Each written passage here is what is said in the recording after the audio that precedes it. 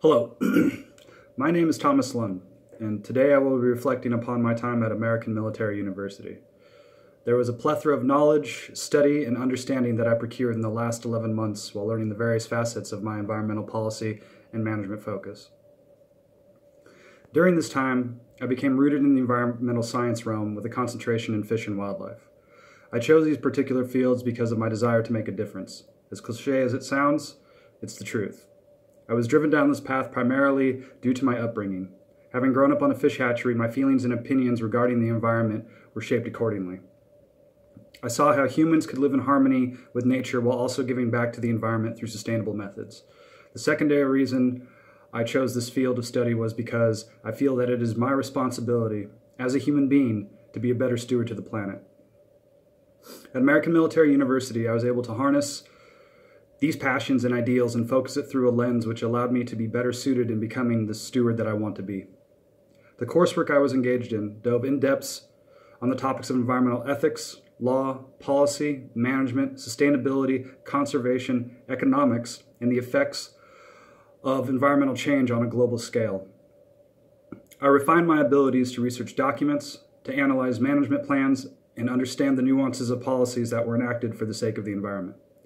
I developed a new sense of insight when it came to ethics and economics and how closely those two are related.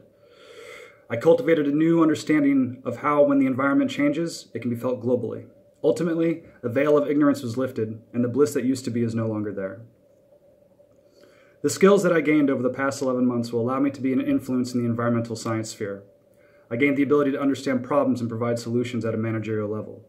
I learned how to read and understand policy, which is crucial to making any sound decision in the environmental arena. Mostly, I learned about the various influences that humans have had on the environment and how, with patience, understanding, sustainable practices, and time, humans can improve the world around them by simply living alongside nature as an equal, not as nature's master. The results of my education, time, and energy at American Military University has given me a new perspective and a new drive.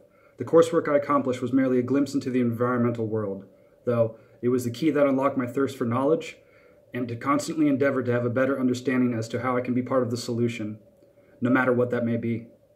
Due to the nature of our environment today, a flexible and adaptable approach in dealing with environmental problems is paramount, and this was consistently reinforced with each class that I was a part of. As a whole, I gained the abilities to be a positive influence when it comes to working in the environment. Regardless of the job that I will have in the future, I will be able to use what I learned and apply it religiously to whatever situation I may encounter. And I know that I will be able to find a solution due to the knowledge and practical experiences I was fortunate enough to learn and be a part of. Thank you for watching.